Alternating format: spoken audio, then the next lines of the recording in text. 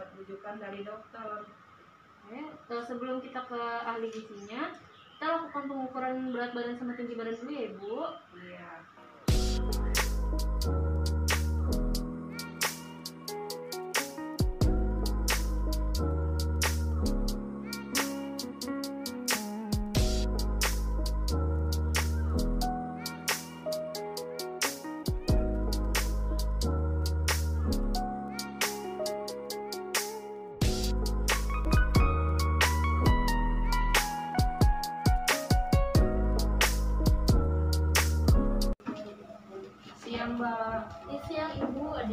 Dibantu. ini saya mau konsultasi nih Mbak tentang masalah gizi. Sebelum memulai konseling, eh, perkenalkan saya akan memperkenalkan diri dulu. Dan nama saya Putri Wulandari, saya selaku ahli gizi di sini akan membantu ibu untuk melakukan konseling gizi. Oke, sebelumnya ibu pernah konsultasi, Belum, ini baru pertama nih ada rujukan dari dokter. boleh saya lihat surat rujukannya? Sebelumnya eh, dengan ibu siapa? Ibu Sima, Untuk usianya? 43 tahun. Tiga tahun. Tadi udah nimbang ibu di depan? Udah Ya, ya. Untuk berat badannya berapa?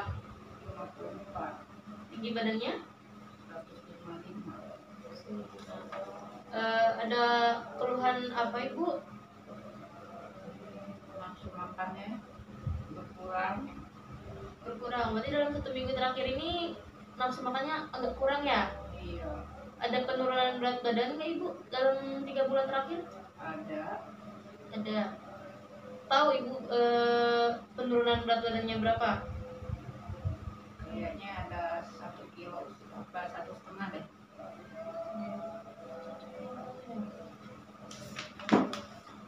Eh, untuk kebiasaan makannya ibu gimana? Makannya berapa kali sehari? Dua, Dua kali sehari ya. Untuk porsi nasinya itu kira-kira berapa centong ibu? Ibu pakainya? dua centong.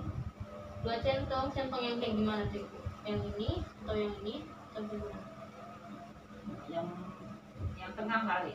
Yang ini Hmm, centongnya. Oke, dua centong nasi ya. Eh, untuk lauk nabatinya yang sering dikonsumsi itu apa ibu? ya, tahu, tempe, Tahu tempe. Itu diolahnya dengan cara apa? Digoreng? Atau di- Goreng. gimana? Goreng. Terus untuk lauk hewaninya? ya, kayak ayam, ikan, telur, Sama, itu digoreng juga. sama digoreng. Eh, dalam satu minggu itu ayam berapa kali makan? Ya, tiga kali, Untuk telur cuma sekali paling. sekali dalam satu minggu. Untuk ikannya biasanya ikan apa yang dikonsumsi? Ikan bandeng, ikan Eh, untuk sayur sayur bayam, sering konsumsi sering kalau konsumsi sayur. jarang. Untuk buahnya Ya sama, jarang juga. Eh, untuk aktivitas ibu gimana ibu biasa sehari-hari di rumah? ya biasa ibu rumah tangga, nyuci, nyapu, masak, Ibu di rumah tinggal sama siapa aja? ya sama keluarga, Ada yang ngerokok ibu dalam rumah? nggak ada. Ya. Sebelumnya udah pernah mendapatkan edukasi terkait penyakit ibu ini? Belum. Jadi untuk gagal ginjal kronis itu merupakan eh, penyakit yang menyebabkan cairan elektrolit dan limbah itu menumpuk dalam tubuh dan menimbulkan banyak gangguan. Gejalanya itu bisa dirasa ketika fungsi ginjal itu semakin menurun. Nah pada tahap lanjut gagal ginjal tersebut dapat membahayakan jika tidak ditangani salah satunya dengan hemodialisa atau cuci darah.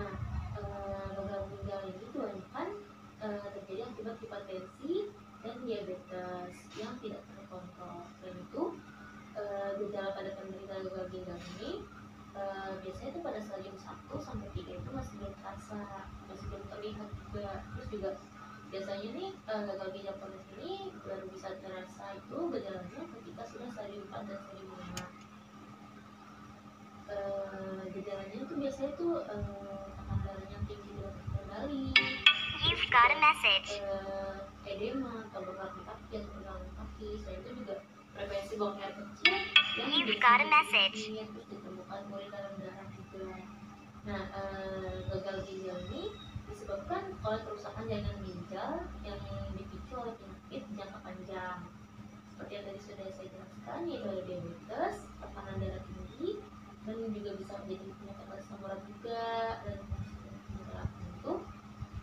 untuk penanganan gagal kronis ini sendiri bertujuan untuk meredakan gejala dan mencegah penyakit ini bertambah buruk akibat limbah yang tidak dapat dikeluarkan dari tubuh. Selain itu, eh, pengobatan gagal ginjal ini dia bisa dari penggunaan obat-obatan, terus eh, cuci darah, atau bisa juga dari transplantasi ginjal.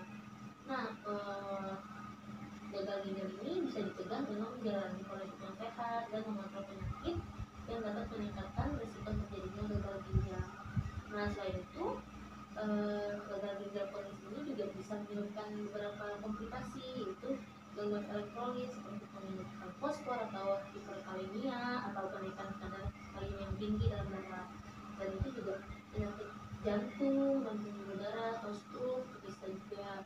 Terus eh, selain itu juga komplikasi itu ada anemia atau darah itu juga ada kerusakan sistem saraf pusat yang bisa menyebabkan kejang Eh, sebelumnya saya akan melakukan recall makanan selama sat- satu hari terakhir. Untuk kemarin pagi kira-kira ibu ingat nggak makan apa di pagi hari? Makan roti. Roti. Berapa banyak ibu biasa roti apa yang dikonsumsi? Ya, yang adanya di warung. Oh, roti warung. Berapa banyak satu satu untuk sebelum makan siang ada lagi makan lain? Enggak ada. Untuk makan siangnya? Ya masih. Makan nasi. Itu kira-kira jam berapa ibu ya, jam setengah satuan jam setengah satu. Makan nasi lauknya? Ya, ikan. Kan ikannya berapa banyak? Ya, kan sepotong. Bagian apa itu? Kemudian ekor. Untuk sayurnya ada? Ada. Makan apa sayurnya urap. Kayak urap. Kira-kira berapa banyak ibu urapnya? Ya, paling empat sendok apa lima sendok. Kan sendok makan ya? Nah, untuk sorenya ada ibu makan? Makan. Makan kira-kira jam berapa itu? Jam lima. Jam 5 eh makan apa ibu? ya biasa makan nasi makan nasi berapa banyak. Ya biasa kalau ngambil nasi mah dua centong. Untuk lauknya?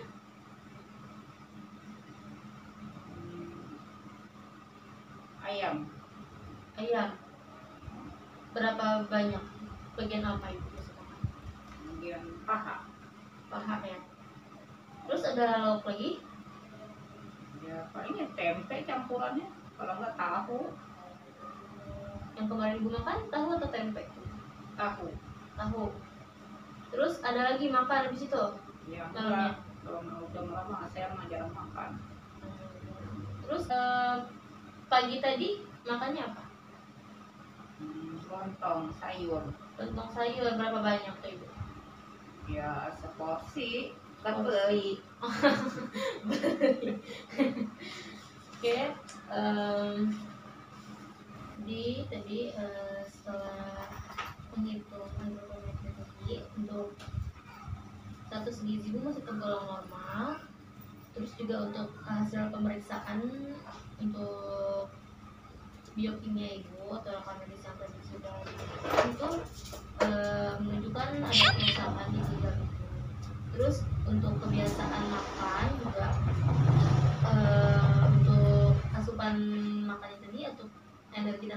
sudah cukup baik cuma me- memang masih ada defisit masih ada kurang. Terus eh, untuk asupan proteinnya tadi berlebih setelah saya hitung. Terus juga untuk itu pas eh, ibu juga jarang masih jarang mengkonsumsi buah dan sayur. Terus untuk pemilihan bahan makanan eh, masih kurang bervariasi terkait eh, jenisnya dan cara pemasakannya juga tadi aktivitas juga masih tergolong kurang ya masih tergolong ringan.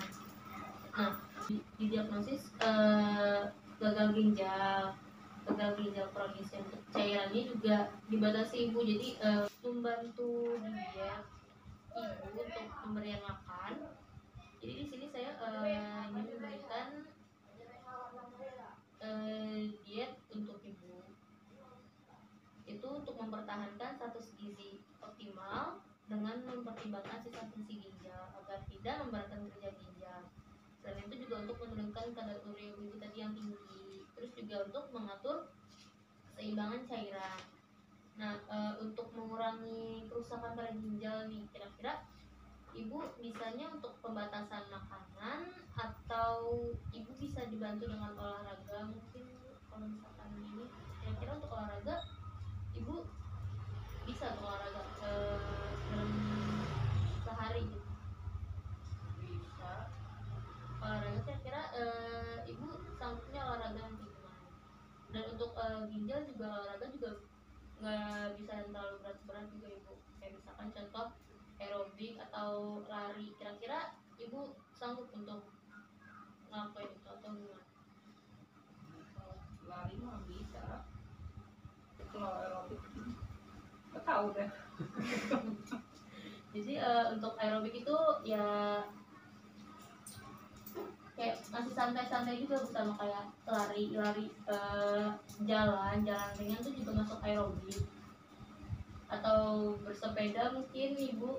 Bisa. Bisa. Kira-kira yang mana yang menurut ibu bisa lakuin gitu dalam satu hari sampingnya juga berapa lama? Ya mungkin lari kali lari pagi mungkin. Lari pagi untuk lari pagi. Kira-kira ibu sanggup eh, lari itu berapa lama? Kalau ya kali setengah jam. Setengah jam. Eh, itu ibu kira-kira bisa konsisten untuk eh, itu nggak? Olahraganya ya, Dan kesehatan mah ya diusahain lah selain dari olahraga nih ibu eh, sekarang kita masuk ke pembatasan makanan. Apa sih makanan yang seharusnya itu boleh atau nggak boleh yang dikonsumsi sama eh, penyakit gagal ginjal? Kalau misalkan yang tidak dianjurkan itu ada dari kacang-kacangan. Kenapa kacang-kacangan nggak boleh? Seperti olahannya juga tempe tahu tuh nggak boleh terlalu sering-sering. Karena eh, kacang-kacang itu kan mengandung protein tinggi dan eh, fosfor yang tinggi itu harus eh, dibatasi karena eh, itu akan memberatkan kerja ginjal juga. Terus selain itu eh, pembatasan natrium juga pembatasan natrium atau garam.